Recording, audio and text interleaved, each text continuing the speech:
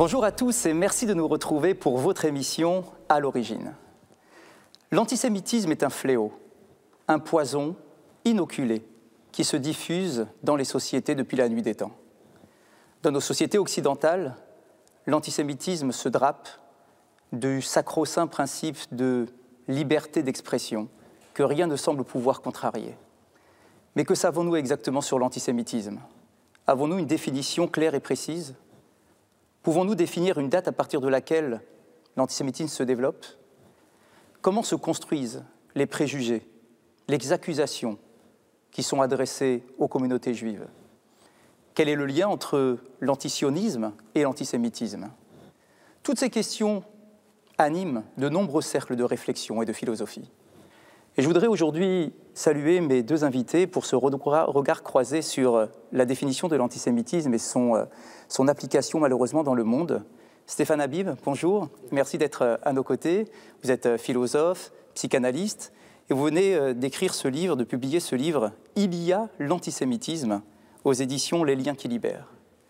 Marco Gonzalez, bonjour. Merci également d'être euh, à nos côtés. Votre travail est absolument euh, exceptionnel également, puisque euh, vous êtes le directeur de l'association Yahad, qui fait un travail sur la découverte des fosses, notamment en Ukraine et dans l'Europe de l'Est, avec ce que l'on a pris à appeler la Shoah par balle. Et nous allons bien évidemment également aborder ce thème à travers notre échange et notre discussion.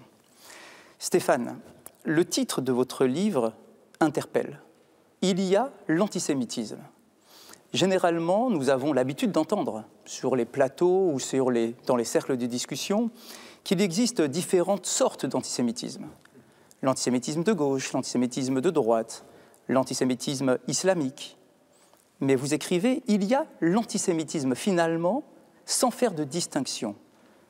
Quel est le propos de votre thèse et comment est-ce que vous pouvez nous l'expliquer?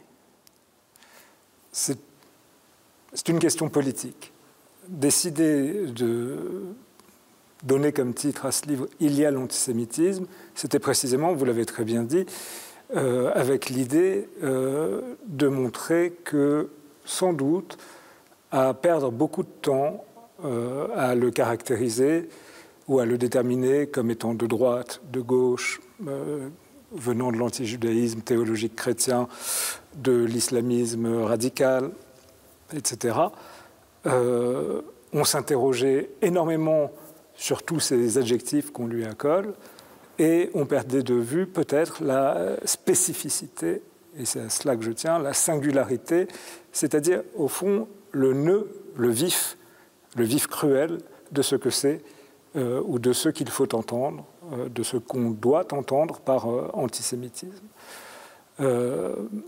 J'ai écrit il y a l'antisémitisme, c'est une référence à Lévinas qui, euh, dans un livre, Le temps et l'autre, parle du il y a, pour dire euh, il y a comme il pleut ou il fait froid, c'est-à-dire l'impersonnalité de, l'être, de, ce qu'il y a.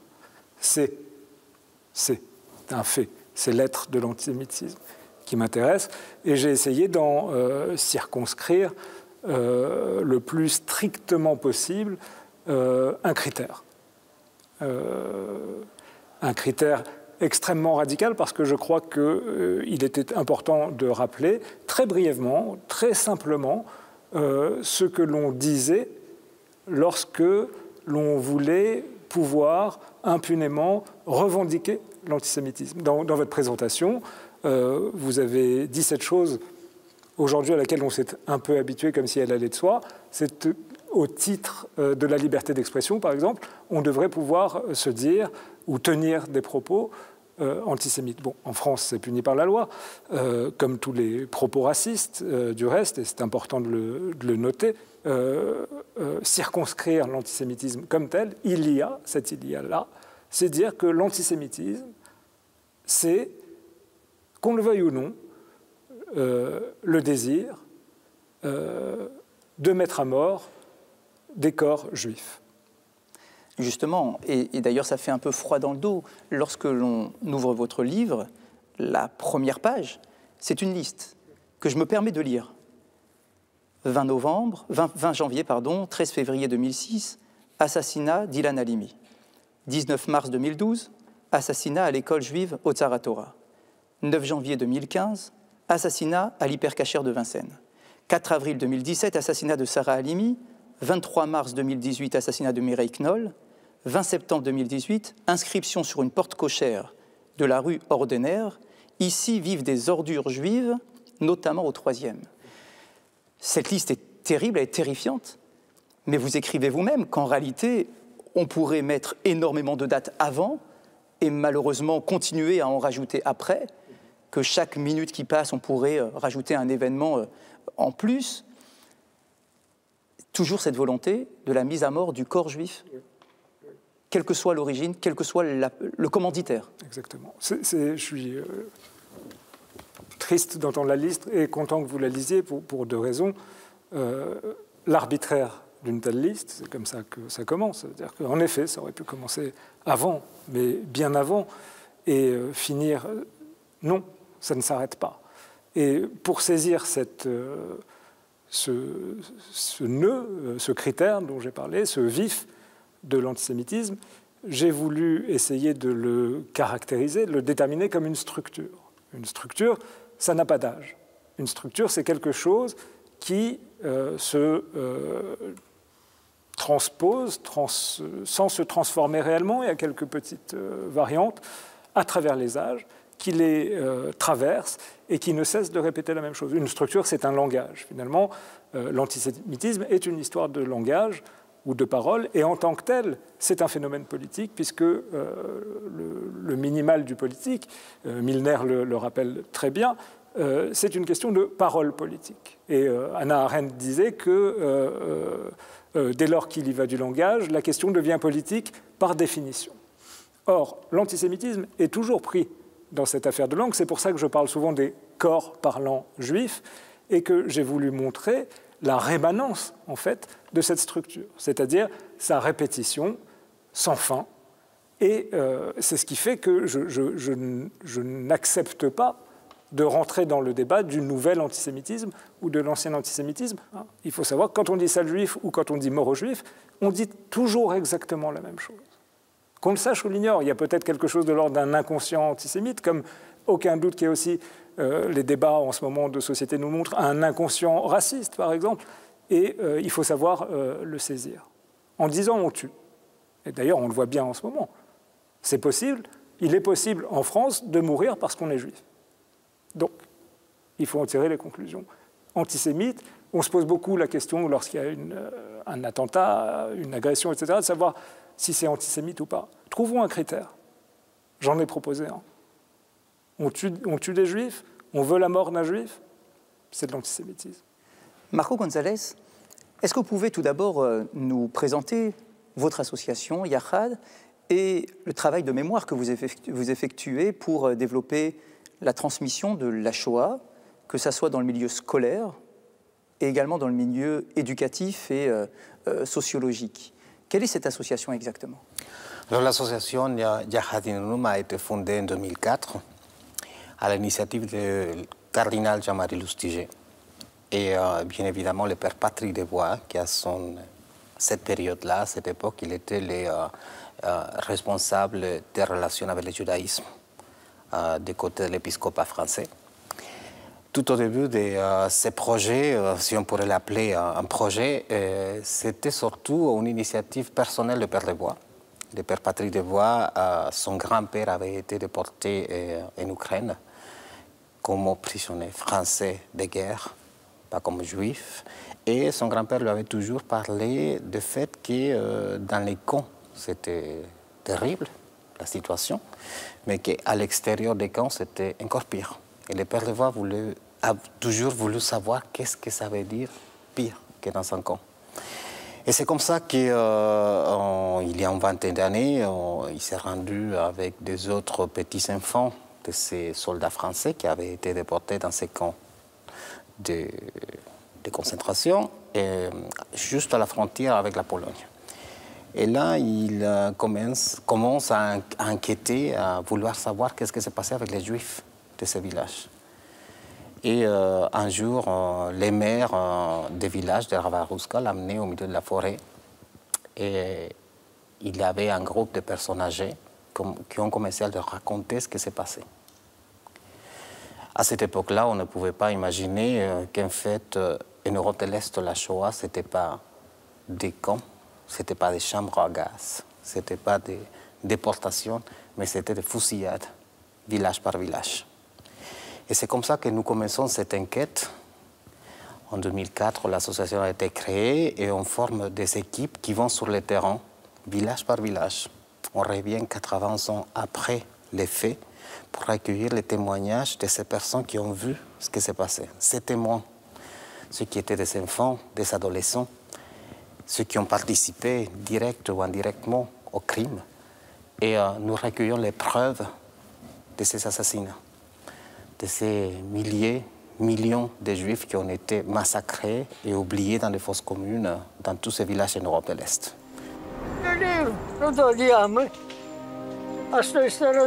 Становились э, полицаи или там э, солдаты, которые расстреливали.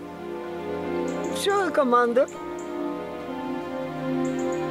А их 30 человек взяли за ручки – вот так вот, и пошли. А первому немец давал в руки палку. Он уже руку не, не, не, не морал на них. Взял палку и отвозил их прямо. Вот. Расставлял их вот так. И команда залп. 30, каждый из 30 нацеливался на одного. Si on rappelle euh, le fait historique, on sait que le 22 juin 1941, Hitler décide d'ouvrir un nouveau front vers l'Est pour euh, faire la conquête de la Russie. Et à ce moment-là, il passe bien évidemment par l'Ukraine. Il veut également faire la conquête, puisque c'était une très grande richesse euh, territoriale et il croise nécessairement les communautés juives. On nous dit qu'il y avait 2 millions de juifs euh, qui vivaient euh, en Ukraine. On estime, selon les historiens, il y a grosso modo, il y avait grosso modo 2 millions 500 000 juifs qui habitaient en Ukraine à l'époque. Ce qui est très intéressant quand les Allemands, quand Hitler lance cette initiative de conquête vers l'Est, c'est le fait qu'un des objectifs aussi de cette conquête, c'était d'exterminer les populations juives village par village.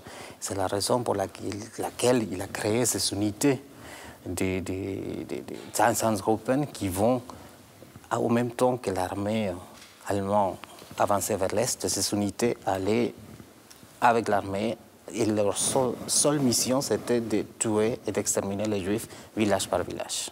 Et finalement, c'est grâce à la mémoire rurale, finalement, de tous ces, euh, ces simples gens qui vivaient dans ces villages que vous allez questionner. Est-ce que la parole était aisée pour eux de raconter ce qu'ils ont vu, alors que jusqu'à présent, on ne leur a jamais posé cette question? Il, il, faut savoir que nous arrivons un peu en retard par rapport à ce qui s'est passé parce que euh, les personnes, les adultes de cette époque qui ont été vraiment réquisitionnés pour commettre les, les, assassinats, ils ont été euh, jugés euh, et ils ont été déjà, ils sont déjà morts. On arrive vraiment pour collecter la mémoire de tous ces enfants. Parce que quelque chose qu'il faut comprendre, c'est que, et je pense que c'est très lié à l'antisémitisme qui existait déjà à l'époque dans tous ces pays-là, les crimes et les assassinats contre les juifs ont été publics. On peut imaginer que c'était euh, caché, euh, mais non, c'était en fait euh, un événement où tous les villages venaient participer direct ou indirectement à la fusillade des Juifs. Et aujourd'hui, c'est ces enfants, ces adolescents qui nous racontent ce qu'ils ont vu. Comme je vais échangé quelques mots avec Stéphane tout à l'heure, euh, il y a ces témoins qui évidemment ont participé directement à creuser les fosses ou à amener euh, les vêtements des Juifs après être tués. mais il y avait aussi les enfants qui tout simplement, les cimetières juifs ou la forêt étaient pas très loin de leurs fenêtres depuis euh, leur maison et qui ont vu les fusillades. Et euh, aujourd'hui, c'est ces témoins-là, ces enfants, ces adolescents qui parlent pour la première fois, comme vous dites, et qui racontent ces traumas et euh, ce qu'ils ont vécu et, il y a 80 ans. Stéphane, comment est-ce que l'on peut comprendre ce qui se passe dans la tête de ceux qui assistent sans réagir pour défendre ces juifs qui se font massacrer? Est-ce que c'est une caution? Est-ce qu'ils cautionnent l'événement? Est-ce qu'ils sont d'accord? Est-ce qu'ils sont antisémites?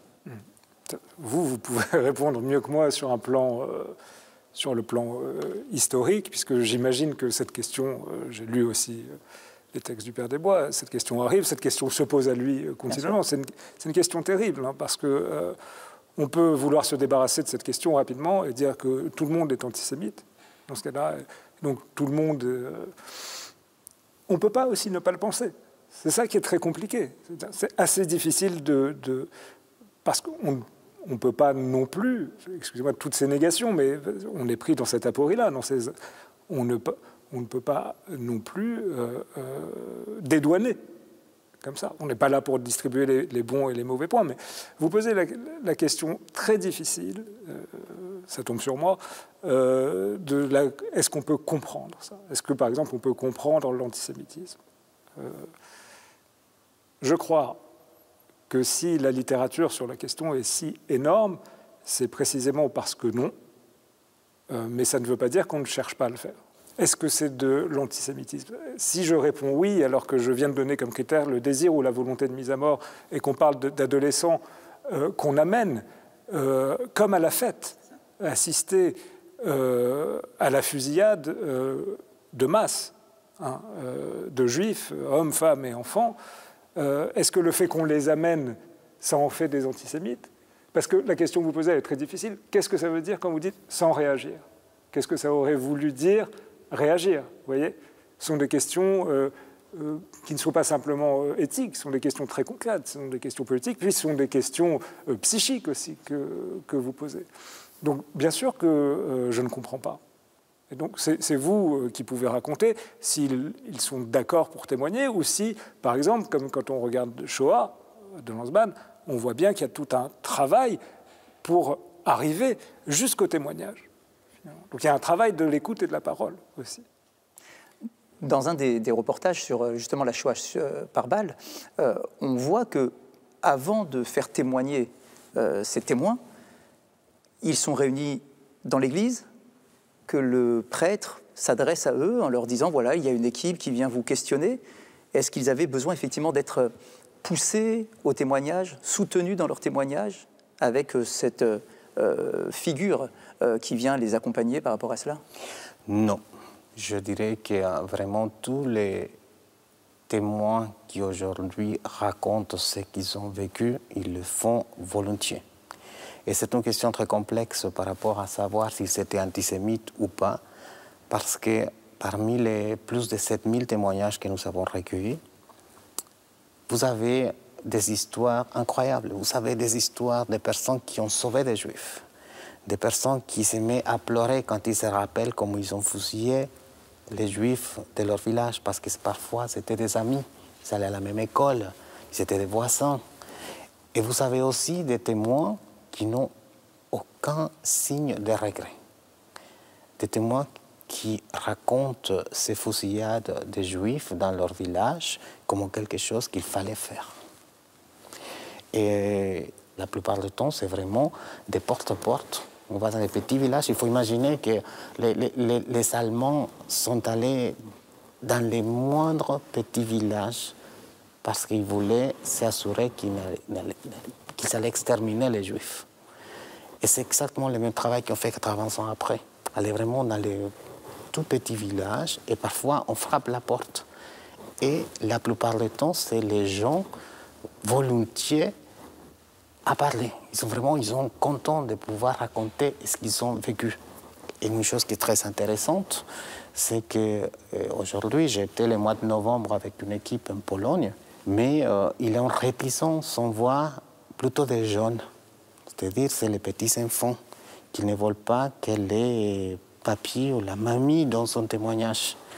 Vraiment, ils ne veulent pas que cette histoire se réveille dans la tête de tous ces témoins-là mais le travail important que nous devons faire, c'est justement de recueillir ces témoignages-là parce que c'est des preuves d'un assassinat.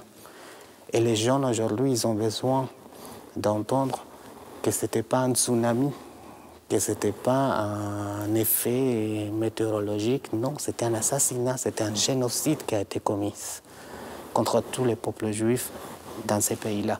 Et donc c'est cette preuve-là qui nous permet aujourd'hui de raconter l'histoire aux jeunes avec les preuves, avec les archives, avec les témoignages, avec des objets que parfois les témoins nous donnent de ces amis juifs qui ont été fusillés. Et c'est ça qui nous permet euh, aujourd'hui, on va dire, d'aller vers les jeunes et pas uniquement pour raconter l'histoire et les dates de ce qui s'est passé, mais vraiment arriver avec les faits et les preuves des assassinats, village par village. À l'époque, les chambres à gaz n'existaient pas encore. C'est d'ailleurs euh, suite à la participation, entre guillemets, de Himmler euh, au moment de certaines des fusillades, qui s'est dit non, c'est pas possible, on ne peut pas continuer comme ça, il faut euh, industrialiser la mise à mort des, des Juifs.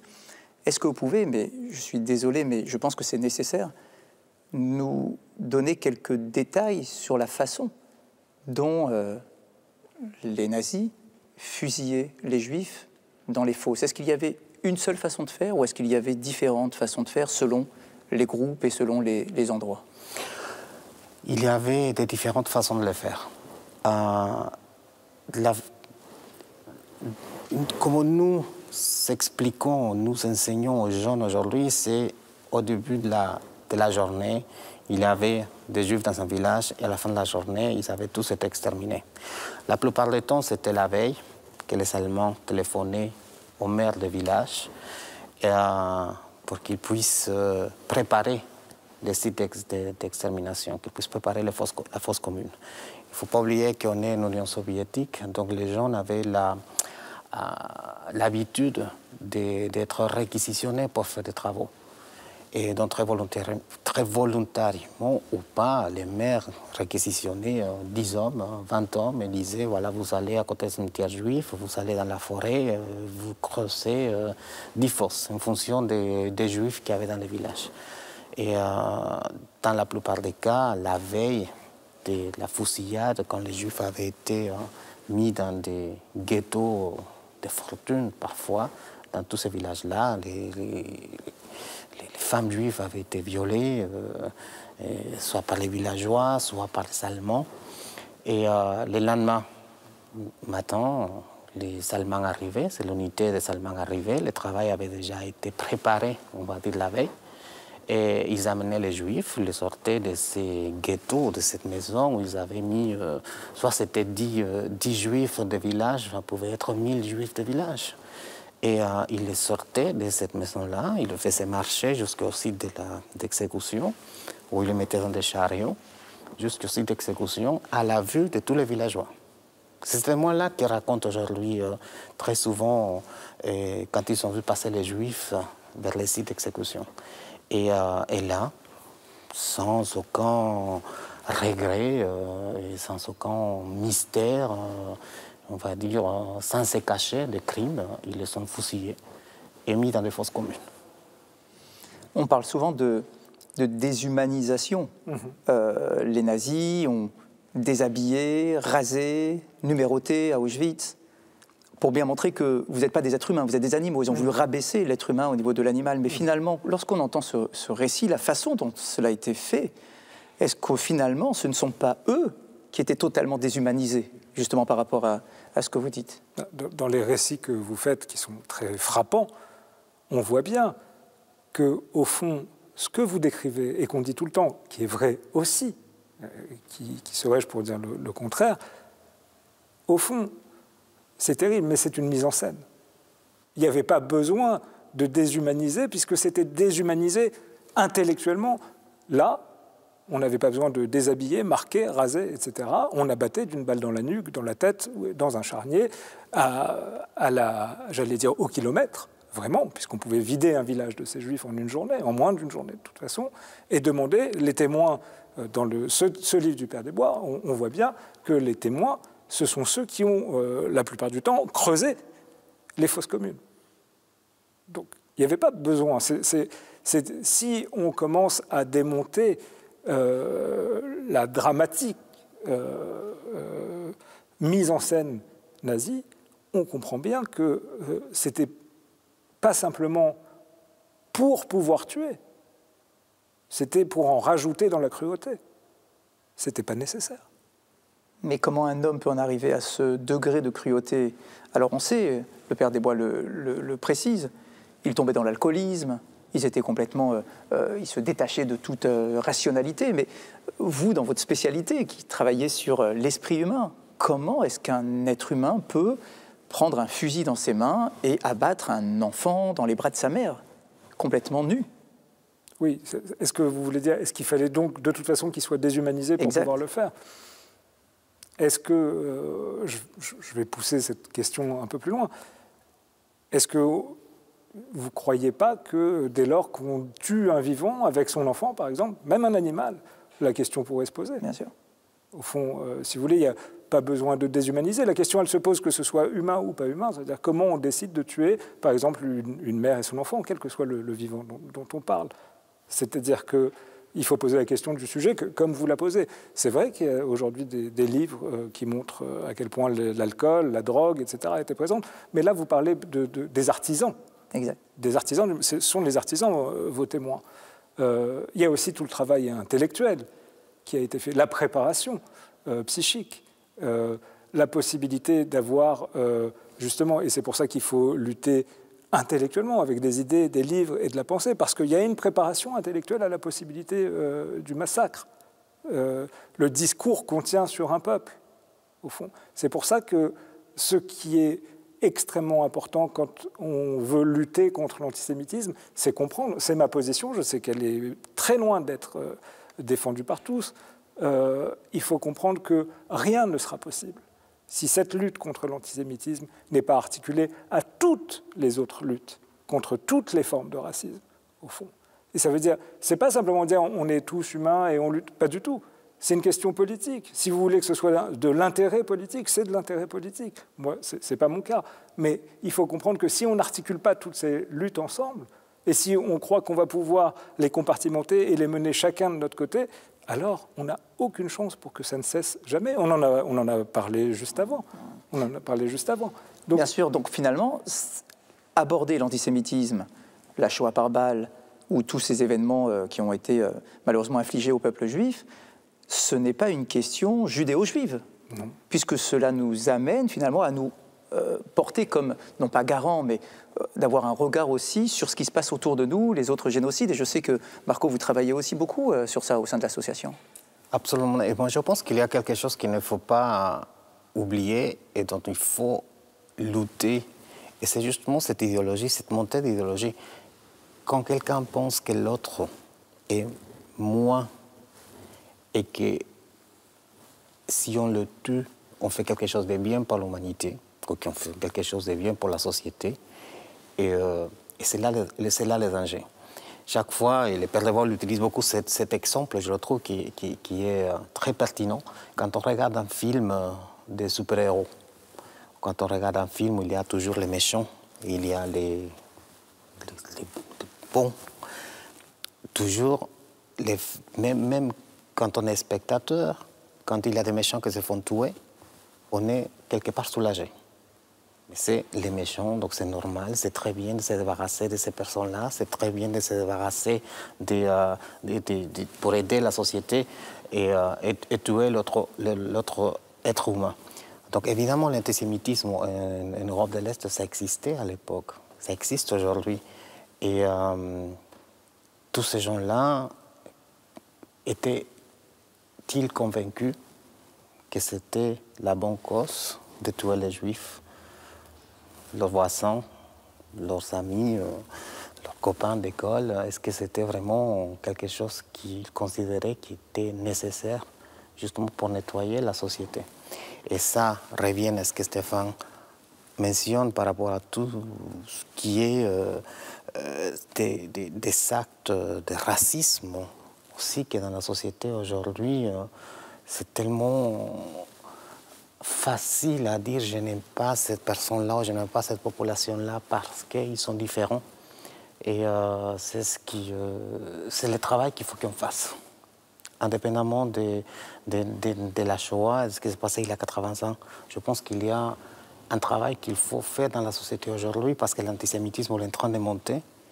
Et l'antisémitisme est passé de faire des croix gammées et de détruire des, euh, cimetières juifs à tuer. Et quand on passe à ce niveau, ça veut dire que cette idéologie de dire si on tue un juif, on fait quelque chose de bien pour la société, et donc la, la société en général commence à l'intégrer comme quelque chose de normal. tout au début, et dans les livres de, de Stéphane, ça va faire 15 ans cette année de l'assassinat d'Ilan Halimi. Et si vous vous rappelez très bien, à cette époque-là, il y a eu une manifestation géante à Paris. Tous les Français se sont, sont sentis concernés par rapport à, à cet assassinat, parce qu'il était assassiné parce qu'il était juif. Mais aujourd'hui, les crimes continuent à se passer contre les juifs. Mais il n'y a plus de manifestations dans les rues. Donc, est-ce que ça veut dire que la population commence à le voir comme quelque chose de normal, comme quelque chose qui, qui, qui est, fait partie de notre société Et c'est là le danger. Je pense que c'est là où il faut que nous on puisse euh, agir en éduquant les nouvelles générations et en parlant avec des émissions comme celle-ci, justement. Est-ce que souvent nous disons en ce moment l'antisémitisme sera bloqué parce que, euh, au niveau de l'autorité légale, au sein de l'État, il y a une volonté politique de ne pas laisser l'antisémitisme se développer. Et pourtant, les actes antisémites au sein de la population sont euh, de plus en plus nombreux et on a les, chiffres qui sont euh, terrifiants chaque année qui, qui tombent et que l'on attend comment on fait? Est-ce qu'on doit être rassuré parce que, au niveau de la tête de l'État, il y a une volonté politique, ou est-ce qu'on doit être inquiété parce que la réalité du terrain rattrape la, la protection politique? Hmm. D'abord, on doit toujours se euh, réjouir qu'il y ait une volonté politique. Euh, on sait trop bien que ça n'est pas le cas partout dans le monde. L'inverse existe. Euh, il faut peut-être parler quand même de la situation mondiale. C'est-à-dire qu'il y a des pays qui sont ouvertement antisémites aujourd'hui, que euh, donnons un nom. Je le cite ici, c'est très important parce que pour éviter la banalisation dont vous venez de parler, qui me semble phénoménale, il faut mettre en relief ce qui existe. Il faut rendre manifeste ce qu'on est supposé savoir, parce que c'est dans nos journaux tous les jours, mais on fait comme si après tout et après tout. Victor Orban, il fait campagne sur la haine de qui? Georges Soros. Il ferme l'université de Soros. Il y a des caricatures dans la rue de Soros qui n'ont rien à envier aux vieilles caricatures de l'antisémitisme le plus, traditionnel. je prends cet exemple-là. En Pologne, il y a un gouvernement qui fait une opération en ce moment sur la Shoah qui est extrêmement inquiétante. Donc on doit se réjouir qu'en France, euh, l'État se soucie officiellement de cette question de l'antisémitisme et, j'ajoute, j'ajoute, doit le faire de toutes les formes de racisme. J'ajoute parce que ça ne marchera pas tout seul, ça ne marchera pas tout seul, jamais, au fond. Ça va créer exactement l'inverse si on ne fait que relever la question antisémite. Exactement l'inverse. Et c'est déjà le cas, au fond, hein, cette, concurrence des victimes dont on a parlé, qu'elles soient à travers le monde ou à l'intérieur euh, d'un pays. C'est le plus grand danger qui soit, au fond. Euh, mais par ailleurs, est-ce que ça change, vous venez de le noter, quelque chose à la réalité en Chypre de l'antisémitisme? Non. Pourquoi c'est devenu banal? C'est le, le, problème auquel on a à se... Aujourd'hui, je crois que pour faire en sorte que ça se débanalise, si on peut dire ce, ce mot, il s'agit de ne pas cesser, de ne pas cesser de rendre manifeste la chose. C'est-à-dire que on voudrait que la Terre s'arrête de tourner à chaque fois que ça arrive. On voudrait, je dis je, je dis nous, je dis euh, euh, et le travail est de faire en sorte que la Terre s'arrête d'une certaine manière de tourner quelques secondes à chaque fois que quelque chose comme cela arrive. Il ne suffit pas d'une volonté politique, au fond. Il s'agit aussi de faire circuler une parole qui montre la folie de ce qui devient de plus en plus commun. C'est pour ça que tout à l'heure je disais, on doit accepter d'avoir rien de commun. Rien de commun. Ça veut dire qu'on doit céder sur rien Mais quand je dis sur rien, c'est sur rien de l'antisémitisme. Et encore une fois, sur rien de ce qu'on appelle de manière, euh, et ça fait des polémiques, peu importe, mettons ça de côté pour le moment, islamophobie, ce qu'on appelle le racisme contre les Noirs, ce dont on a vu ces derniers temps des choses épouvantables, au fond. Là aussi, la Terre devrait s'arrêter de tourner. Là aussi, il devrait y avoir une convergence de ces luttes-là. Et on devrait s'étonner qu'il n'y ait pas cette convergence, de la même manière qu'on doit s'étonner du fait qu'on ne descende plus dans la rue quand il y a un acte antisémite. Mais je crois, moi, que la réponse qui peut s'esquisser à votre question, qui est très très difficile, c'est celle-là, au fond. Hein. Comment on articule les luttes, en fait? On ne peut pas isoler une lutte. Quand on isole une lutte, on crée des divisions, un peu plus, au fond. C'est ça, il n'y a pas de concurrence de mémoire, hmm, certainement pas, mais plutôt un travail à effectuer les uns par l'expérience des autres aussi, à travers le vécu, les vécus des autres. C'est peut-être ça en réalité, ce que nous devons apprendre pour euh, pour aller euh, de l'avant et pour essayer d'éradiquer toutes ces, euh, ces, manifestations de haine qui, peuvent exister. Absolument. Le, juste un mot, pardon, parce que euh, ça me semble, pour comprendre aussi la chance que j'ai de, vous rencontrer, de pouvoir parler avec, vous. De, tout à l'heure, vous disiez, à juste titre, c'est pas une affaire. L'antisémitisme n'est pas une affaire judéo-juive. Sartre, à sa manière, en faisant euh, ses réflexions sur la question juive, mais ne dressant dans le livre, on fait beaucoup de reproches à ce livre, on peut, mais c'est aussi un livre très important à mon avis. Qu'est-ce qu'il fait dans ce livre? Le portrait de qui? Pas des juifs, le portrait de l'antisémite. Ça répond à votre question. L'antisémitisme, ce n'est pas le problème des juifs, le racisme, ce n'est pas le problème des noirs ou des arabes. L'antisémitisme, c'est le problème des antisémites, et le racisme, c'est le problème des racistes. Ce n'est pas à, ceux qui sont euh, visés par la volonté de mise à mort, par la volonté d'aliénation, par la volonté de soumission des antisémites ou des racistes, de considérer qu'ils ont un problème. C'est pour ça que la lutte, elle ne peut pas être uniquement divisée, etc. le problème de l'antisémitisme, c'est le problème des antisémites. Ce n'est pas le problème des juifs. Ceux qui le vivent dans leur corps, mais il est toujours déjà trop tard pour qu'ils le disent, ce sont évidemment les juifs quand ils sont victimes d'antisémitisme. Mais le problème est un problème pas juif, c'est un problème antisémite. C'est une nuance très importante. C'est jamais judéo-juif. Marco, comment est-ce que vous arrivez à organiser la, transmission de la connaissance de la Shoah?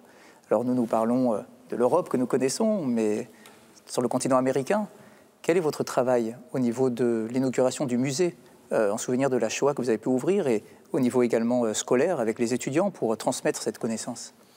Moi, je dirais qu'il ne faut pas oublier que la Shoah reste vraiment la référence par rapport au génocide moderne. Et euh, ce que nous avons pu investiguer pendant toutes ces années en Europe de l'Est, ce qu'on appelle la Shoah par balle, c'est ce qui s'est passé après la Shoah. Ce n'était pas l'industrialisation de la mise à mort comme c'était passé à Auschwitz. Et il n'avait pas la déportation ni les chambres à gaz, mais cette fusillade, le fait qu'un homme tue un autre homme, c'est ce qui s'est reproduit après. Et euh, dans le travail que nous avons pu faire pendant toutes ces années-là, la collecte de témoignages, mais aussi le travail dans les archives et, euh, la reconnaissance des lieux aussi, parce qu'il ne faut pas oublier quelque chose que nous sommes euh, très étonnés, c'est il y a tellement de travail de mémoire autour de, de autour, autour des lieux, mais par contre, ces lieux de fusillade en Europe de l'Est sont complètement à l'abandon. Personne n'y va, ils ne sont même pas protégés. Donc comment ça se fait que l'humain, c'est plus facile à le faire disparaître. Les traces de, quelqu'un est beaucoup plus facile à le faire disparaître aujourd'hui dans des fosses communes et, euh, par rapport à la, à, la, mémoire des camps. Donc c'est quelque chose qui, qui, pour nous, c'est important de transmettre aux nouvelles générations aussi. Et en Amérique latine, nous avons ouvert un, un musée de la Shoah, c'est le premier en Amérique centrale, au Guatemala. Je suis né au Guatemala, mais c'est surtout le père des voix dans sa vision de monde qui a pris cette initiative d'ouvrir ce musée euh, au, Guatemala. Et euh, on se rend compte que euh, les gens ont tellement besoin de comprendre ces mécanismes d'assassinat. de comprendre que ce que les unités allemandes, avec l'aide parfois des, villageois, toujours, parfois ils l'ont fait tout seul aussi, faut pas oublier, et euh, c'est reproduit après la Shoah. Et donc il faut pouvoir montrer aux jeunes générations aujourd'hui, pas uniquement, comme je disais tout à l'heure, comme quelque chose qui fait partie de l'histoire, qui fait partie de l'histoire en, Europe, qui fait partie de l'histoire des peuples juifs, mais non, que tout le monde puisse se sentir concerné parce qu'on parle d'une population qui s'est fait génocider et qui continue à se passer aujourd'hui. Et donc, euh, c'est ce message-là qu'on passe aux nouvelles générations au Guatemala à travers la connaissance de la Shoah, à travers les témoignages que nous avons recueillis à travers cette méthodologie d'assassinat, d'extermination des, peuples juifs en Europe de l'Est, que nous, on transmet justement ces messages pour lutter contre l'antisémitisme. On est bien évidemment avec un travail qui est complètement différent de ce qu'on fait en Europe. en Amérique latine, les contextes historiques sont différents. La religion aussi est très différente. On parle euh, au Guatemala, par exemple, c'est un pays où 90% de la population est chrétienne, soit protestante, soit catholique, et euh, avec une communauté juive euh, très, très, très petite, très fermée. Et dont la, population a un rapport très différent à, à l'antisémitisme. Mais comme partout dans le monde, ça grandit. Et donc la Shoah, c'est loin. C'était passé il y a 80 ans. Donc aujourd'hui, bah, c'est pas grave si on fait, on, croit gammé sur la porte du musée. C'est pas grave si on dit on n'aime pas les juifs. C'est pas grave si on dit euh, ils l'ont bien mérité.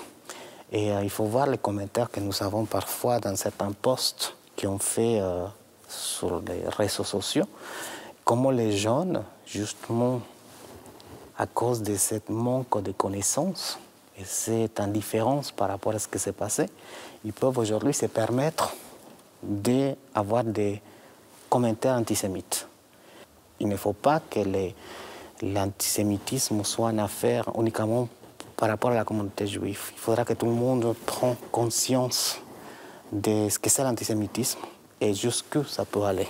Parce que le problème, ce n'est pas uniquement de dire je n'aime pas mon voisin parce qu'il est juif, mais le problème, c'est de dire j'ai envie de le tuer parce qu'il est juif.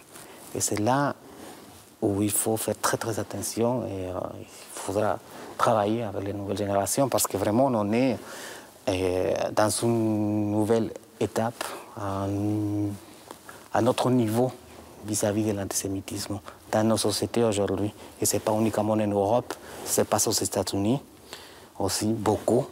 Beaucoup des amis juifs qui aujourd'hui se font euh, tabasser dans les rues à, Brooklyn ou se font insulter par des personnes qui passent tout simplement dans une voiture parce qu'ils sont juifs. Et, euh, et ça, ça change partout dans le monde. Merci beaucoup, merci messieurs. Marco Gonzalez, je vous rappelle que vous êtes le directeur de l'association Yahad. Stéphane, merci pour euh, ce livre Il y a l'antisémitisme les liens qui libèrent. On peut effectivement parler de, libération également lorsque l'on parle et que l'on pose ces mots. Et on peut imaginer que l'enjeu est encore, euh, énorme avec euh, les réseaux sociaux euh, qui, offrent une caisse de résonance incroyable également à tout l'antisémitisme. Merci beaucoup, messieurs. Merci de nous avoir suivis. Je vous souhaite de passer un très bon dimanche et je vous dis à bientôt.